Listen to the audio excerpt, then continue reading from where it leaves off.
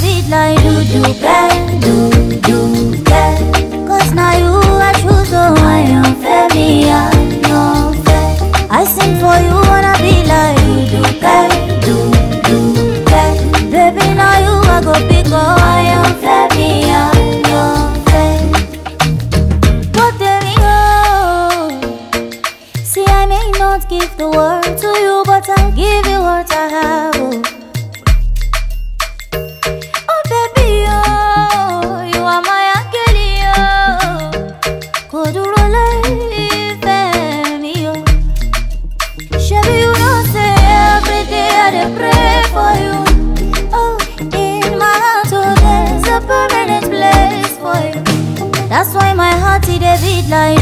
do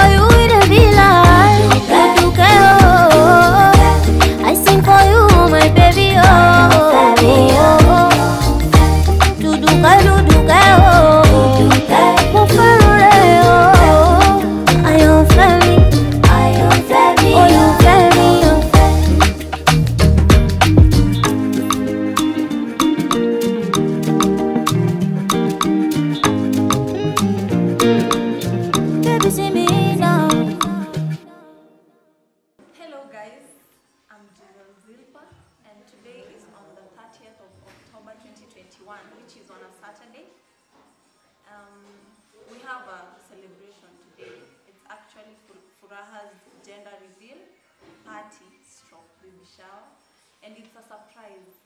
Like we've decided to do a surprise for her because she's kind of special to us. She's like six months pregnant. We decided to put it a little early because of no good reason, but yeah, we think we should. And uh, she's like she means a lot to me. She's my elder sister, like I'm the immediate follower follower to Furaha. She means a lot. Nampenda sana. Um, venye tuka jina yake furaha yeah she's full of joy na tuwezi taka kumdisappoint na as much as maybe anaweza fika anaweza fika ashtuliwe. Ile ile butua unajua kuna butua wa mama wenye wako na mimba waushtuka haraka. So kuna kuna wengine wanaweza shtuka na unakwanga kuna kwanga na mamuzi so ina depend pia na mtoto amebeba. Kama kuna mamuzi furaha yake itakuwa ile vile tuna expect. But anyways we hope for the best. Tunajua atafurahi na atabambika because anyway tumefanya tumefanya wonders kwa hii nyumba. We've really done a lot of things in this house. Zenye zinaweza mfurahisha sana and we really hope atafurahi. Yeah so furaha a message from your sister to you that nakupenda sana and I wish you all the best. Hata mkienda kuzaa labor pain ikwangi mchezo my sister yes. But we'll keep praying for you. Utazaa poa whatever gender the, the kid is tutamappreciate na tunampenda sana yeah thank you sasa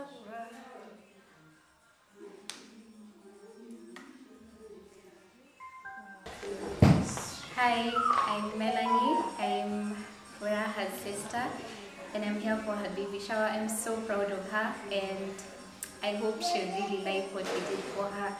Furaha, if you're seeing this, we love you, we appreciate you, and we can't wait for baby to come. Tunakupenda. Mwah. Mm-hmm. So today I wore blue because uh, I'm, I think Furaha is going to have a baby boy, so I'm really excited about that. But either gender that comes, I'll still love him or her the same way. That's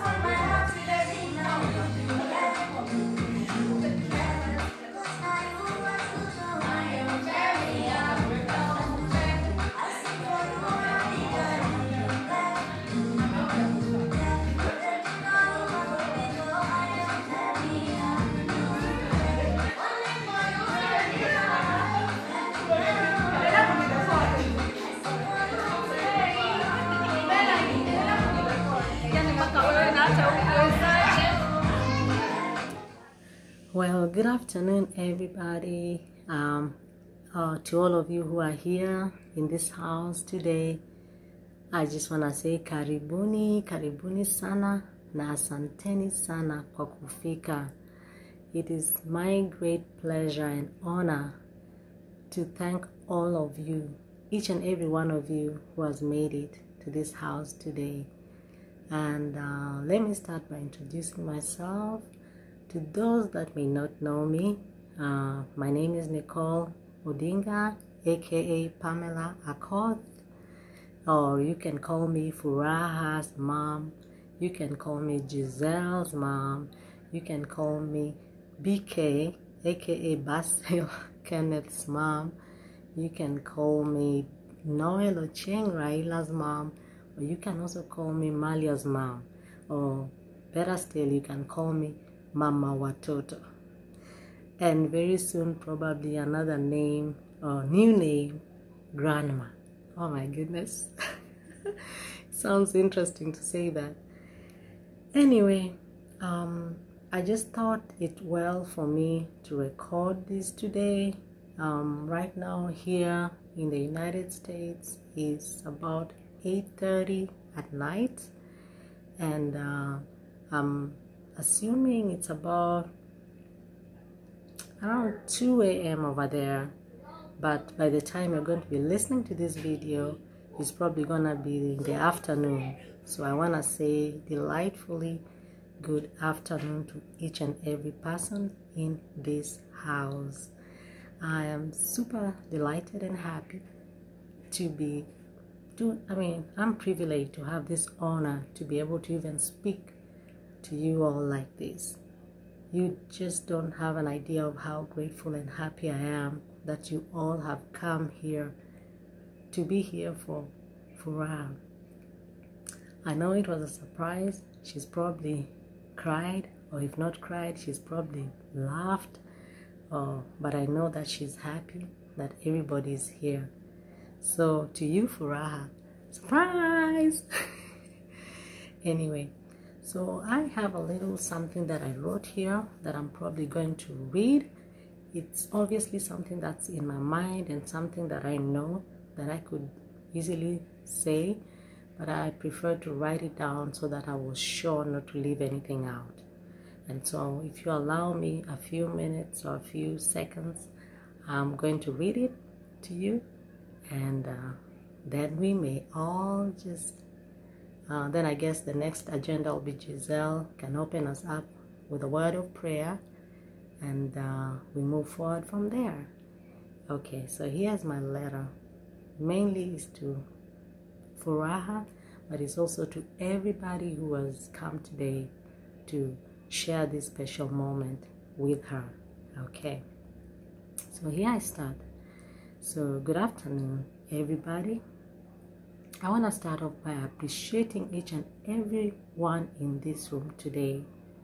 There would be no occasion without your presence. Thank you.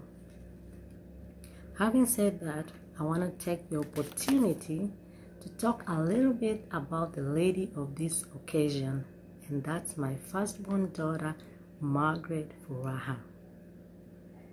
When I, um, that's Margaret Furaha.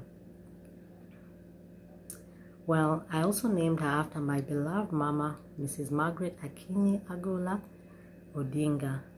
May Mama's soul rest in peace, but may her spirit rejoice here today with us at the celebration and welcoming of her first great grandbaby, aka the Luo people say Doklohunda. So my mom, this would be my mom's first Doklohunda if she were here today. But unfortunately, she's gone to rest with the Lord. And I believe that this day she's gonna be here in this house. When I say this house, I mean that house, celebrating with us. When I first learned that I was pregnant with Margaret, I had mixed feelings and reactions. And the reason for this was because I had just lost my firstborn baby. Yeah, I had a boy who was called Troy Agola. He passed away, unfortunately, um, He took a, those. Some of you might know the story, but he just took an, a bean seed, went to the lungs, and unfortunately he passed on uh, when he was only a year and a half. So having furaha in my stomach at that time was a traumatizing at the same time joyous. You know, I was joyful and I was also traumatized. I was mourning my son and I was also celebrating the little baby that I was having in my stomach, of which I had no idea at the time. I, I wanted a boy so badly, but I also said to God that whichever kind of baby you give me, I'm going to embrace that baby and love that baby accordingly. Anyway, back to my writing. Um, okay, so when I first learned that I was pregnant by Margaret, I had mixed feelings and reactions. And the reason for this was because I had just lost my firstborn baby, Troy. Troy may he, and uh, so may his little and beautiful soul rest in peace. I was so traumatized and really wanted a replacement of a son. But God's will was way too different than mine. At first, I really never wanted to know what gender my baby would be, even though deep down I was hoping for a boy. But my curiosity drove me to go and have a scan done and revealed that I would be having a bouncing baby girl. Wow. I can never forget the joy in my heart when the doctor told me that I was carrying a little baby girl.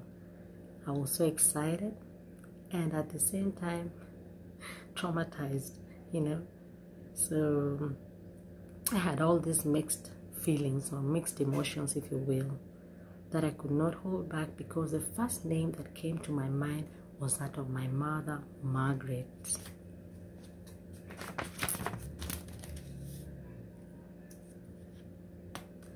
Long story short, June 1st came and it was a day to bring my mother, Margaret, into the world.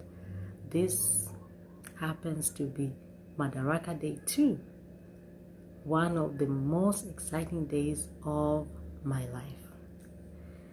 The moment she came and I heard her cry, when I heard her first cry, I was so overwhelmed with emotions. I cried so much as I thanked my Lord for blessing me with another bouncing and most precious and beautiful baby girl. That joy never left me to date. Now, today, I celebrate and embrace my daughter's firstborn baby. Could be a boy or could be a girl. It's all good. All I pray for is a healthy, bouncing baby. May the Almighty God protect both mother and child. My prediction, my prediction, rather, my prediction is that he or she will be the most adorable, beautiful, handsome stroke, beautiful baby of the year. And I say so because just take a look at, at the mother. Look at Furaha where she's sitting right now. Isn't she beautiful? I think she is. She is beautiful. My darling daughter Furaha, this is to you. You are now officially joining the Mothers Group. Please open your eyes and heart for love and protection among many, my child. Being a first time mom is not always easy. It comes with challenges. But I'm hope I'm happy that you have people in this room today that are mothers and love you and will be there for you. They are your aunties, your friends, but above all, you know you always have me, your mother. Even though I am not physically there, you will always count, you can always count on me, mama, okay? I know your baby will also have some very young, young but loving aunties like Malia Oh my god, Malia is gonna be an aunt. How awesome is that? I know. so Malia, then there's Uncle Noel, aka Bobby. then there's Uncle Basil, and of course, not forgetting Auntie Giselle, will love and adore him or her. So, with these few remarks, Yeah, a few indeed. I guess I've written a whole book. and now close by telling you that I love you, Mama, and may God protect both you and the baby to term. And may I get to see and hold my very first grandbaby. So, Granny Atochwa, aka Josephine Aoko, and Granny Maureen Kojoko, I will be calling you all for advice on how to be a young grandma. Watch out, okay? Love you all, and um, and I thank you for being here today. You all are special to me, and certainly special to Furaha. A special thank you to Vanessa for all the running around she did to ensure all is well. I thank you all for your contributions and gifts, and may God bless you all. And shout out to the photographer. That's my photographer Josiah. So if you guys want any photography taken, any video, that's the man.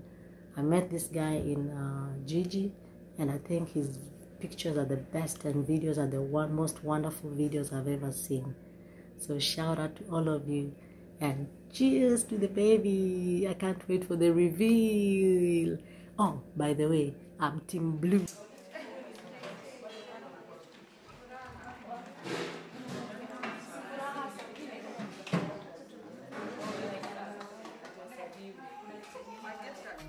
I pray for the day when I can finally kiss you.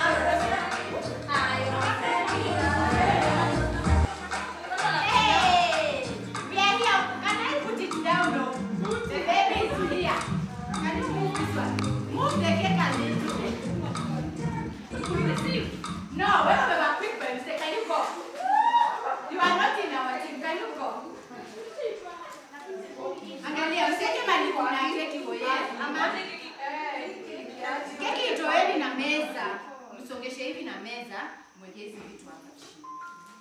Yes, they, we must display pink. Excuse me. Pink is around.